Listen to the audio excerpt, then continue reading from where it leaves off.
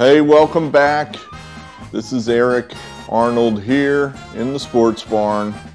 It is Friday, July 30th. It's uh, early afternoon here. We've got uh, five free MLB picks here for you on this Friday. Five or was it six? Uh, five. Six. All right, five, six. What's the difference? At any rate, um, coming off a okay day, you know, went about the way I thought. Uh, the picks I was nervous about lost, and uh, the picks I felt okay with, they won. So, you know, we had the Mets. The Mets, that's it. We're probably not going to lose a whole lot more with the Mets, I don't think. We got that team figured out. That that's just a team. The model, just uh, a model works for 29 teams, and then they're the Mets.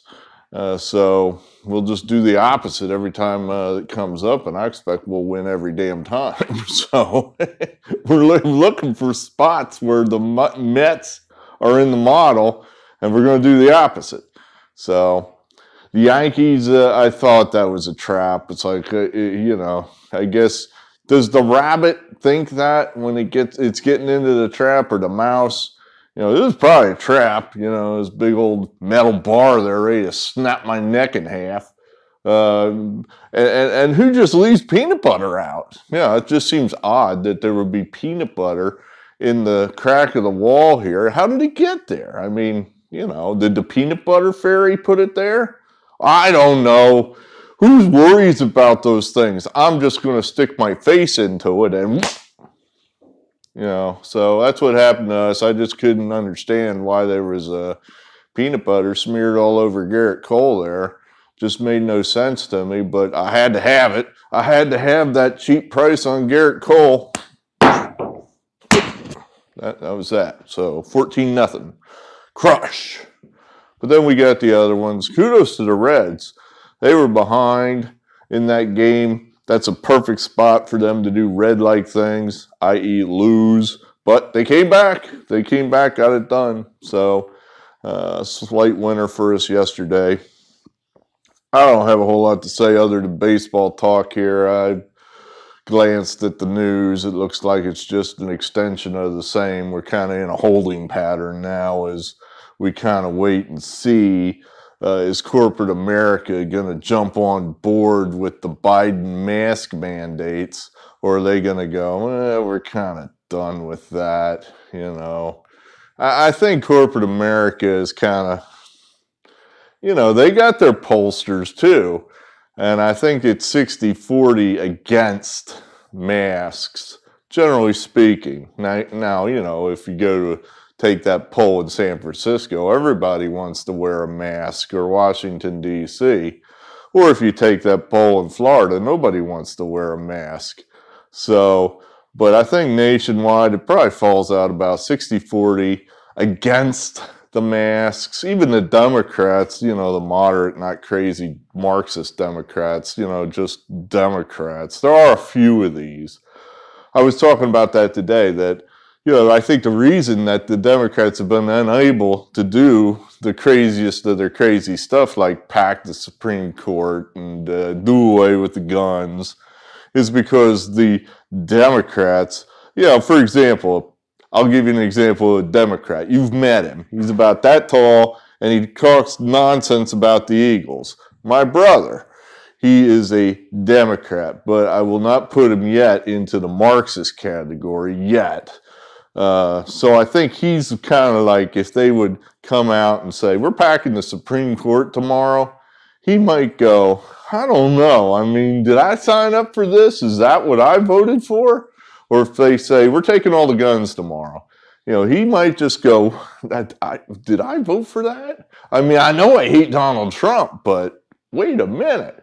You know, so I think the fact that they've got some people like Mark on their team is holding them back which is a good thing for us. So uh, that's good. All right, baseball. Um, back is getting better slowly, slowly, very slowly.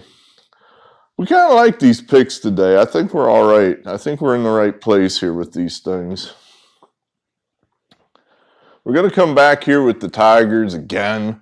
Um, Tigers have been very, very good to us, so why not keep playing them? Uh, Matt Harvey, if you can believe this, he has gone two consecutive outings and thrown shutout ball. What do we make of this? Uh, you know, this is a guy whose ERA was pretty consistently in the sixes and sevens. And now he's thrown two consecutive shutouts. Well, you know, what passes for a shutout? You know, six innings of shutout ball. I used to live in Missouri. You're going to have to show that one to me again, Matt Harvey. I don't believe it. I just don't think, you know, I just don't think he's found it. Uh, some magic formula. I think the injuries have just made him into a below average pitcher. So, and I think, you know, that is what he is, I believe. Could be, this could be a new Matt Harvey. And if it is, we're going to be in trouble. But we're saying it's not. The Tigers, as uh, you've heard me say again and again, we think that's an improving team that is getting better, will be better tomorrow. The day after that, they're going to be even better than that. Is a team getting better. So uh, we like the Tigers here at a not too hateful price at home against, you know, the worst team in the American League. So go Tigers. Uh, we're going to take a crack here with the Braves as a home dog. I don't often play these home dogs, uh, but I think it's a good spot. You know, they should have a pretty good crowd down there on a Friday night. The Braves are coming off a road trip where they played uh, divisional opponents, including the leading Mets. Big win last uh, yesterday for the Braves to keep them in it. They're making moves. You know, they're not break the bank type moves, but they're moves that are going to help them. You know, they're getting some help in the outfield now, uh, bringing in Duvall, bringing in uh, uh, somebody else. Um, name escapes me. It wasn't a you know a huge name, but it was a name that would help them. Uh, so they're getting some depth to help these guys. I think that'll keep the the locker room up kind of saying, "Hey, this isn't over. You know, we, you know, we've got a chance here." And, and, and when you think about it, that's a team that this isn't like a one-year deal for these guys. In other words, and then next year it'll all be different because everybody's gone. No, just about everybody will be back, and they'll have Acuna back. So, yeah, I think the locker room of Atlanta is pretty up at the moment. Uh, the Brewers, you know, it's going to be coast time for these guys soon. I don't think they take the Reds seriously. Uh, and I think these guys at some point are just going to start coasting. So I think this is. Oh, and then lastly, this Toussaint guy, he was a he got smacked all over the place. They sent him down, and all of a sudden, his last few starts since he's come back up, he's been good. You know, he pitched in Philadelphia. Saw him uh, what last week, and he was good. He got beat, but he pitched well. So we're going to take a shot there with the Braves. Mariners, Rangers. Uh, another big home dog here. Big price on the Rangers. Um, I just think the Mariners, they're, they're, they've been totally turned around now. This whole deal where they trade their closer, who was, you know, not a guy they just bring in the ninth inning to get hopefully the last three outs. He was pitching lights out, this Graveman. He was just going off and he was a big part of that team. And they trade him. Not only do they trade him, they trade him to the divisional leader, the Astros. It's like talk about the fuck you from the front office. And the front office had some mealy mouthed uh, thing about, yeah, don't worry. Well, it's not over yet. We're getting value. Blah blah blah blah. The players know it's all bullshit. They know that that team never intends to win uh, I always keep thinking it comes back. It's a pyramid. It's a pyramid. You know, every team. And here at the top, you got the the owner. You know that that evil overlord billionaire that controls it all, and that's what it all comes down to: is who's my owner? Does this guy want to win or not, or does he just want to turn a profit uh, and so he could brag to his other billionaires at their uh, country club about uh, how his bottom line is better than their bottom line or what have you. And whoever owns the, Mariners, and I don't know, I should know this, I have it written in a file somewhere. I can't regurgitate it to you right at this moment. This guy doesn't want to win. I mean, that's clear. You know, the, the, the history of this franchise over the last 20 years is clear that this guy doesn't give a shit about winning. Otherwise, he would at least have his general manager think about not, oh, well, we got a guy on an expiring contract. Well, the we must have value and save money and always keep this team mediocre so we can always be in the black manual says that we have to flip that expiring contract because we're not going to re-up this guy. We all know that. We, we would have to pay him. We don't want to do that. So we got to get some other cheap player back. And they did. They get some, you know, potential star, you know, third baseman hitting 210 from the Astros, um, Toro. Will he be a star? Maybe. I mean, the guy's 24 and he's behind Bregman in Houston, so maybe he's a future star, but maybe not. So at any rate, the, the, the, whole thing there, the Astros don't care. The players, that's been made painfully aware to the players again. So the Mariners are sad right now. They're just kind of like, man, we thought we had something here. We really were building something here. And, for at least this week, you know, maybe they'll, you know, there's still a lot of talent down in that Seattle locker room that they might say, yeah, you know what? Fuck the owner. Let's get it together. Let's band together and win this for us. But for this week, I think they're just all sad. And this price is way too high for a bunch of sad players on the road. Uh, we'll take the Rangers. White Sox, Indians, same theory.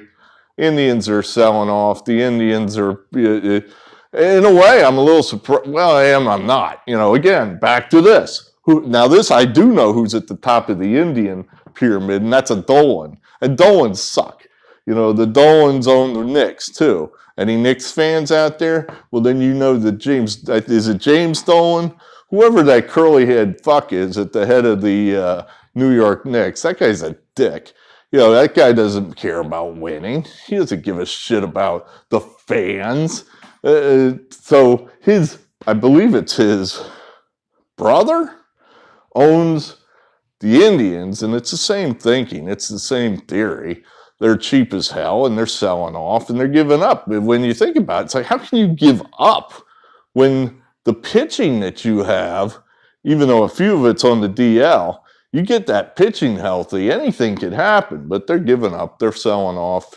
Terry Francona, he he was closer to the top of the pyramid than you know anybody else really and he's he's tapping out for health reasons. So you know, goddamn well, the team is done with this year for the uh, uh, soon-to-be Guardians. So uh, we'll take the White Sox there. Uh, Astros Giants. Um, not often you get paid to play a premium team like the Astros. So we're getting 115 uh, at San Francisco to play with play the Astros. I think we got to take a shot there with that. Uh, Gausman's been good, but then you know it's not like Gausman's a Scherzer. You know this is kind of a one-year wonder guy, and uh, at what point does this guy revert back to who he's always been? You know, is it this week? Is it next week? Will it be next season? Uh, but at some point, this guy probably is gonna, you know, much like the Denny Green, he is who we thought we, he was. You know, he, he, he'll become what he was. Uh, so we like the Astros there. And lastly, uh, Padres, sure. You know, uh, we're trying to find places to play the Padres at home that isn't too hateful a price. Uh, they we, we, we really liked them earlier in the week against the A's and they got their asses kicked. So we were happy to avoid that one. Uh, but I can't help myself here. We just, you know, it's under 200. The Rockies on the road suck. Um, the Padres need to keep winning. Plus, they're just bringing in like player after player after player. Uh, so this is a really good and deep Padre team, and they they want to be there. The fan, they're selling that place out. People are excited. They want to win. The fans want to win. I don't think that's too bad of a price to pay uh, for a superior team against a division opponent that they usually, you know, they, I don't want to say they always handle them, but they're much better than the Rockies, especially with the Rockies on the road. So, like that one. So, our top plays are the Astros and the uh, Tigers, and then fill in the rest.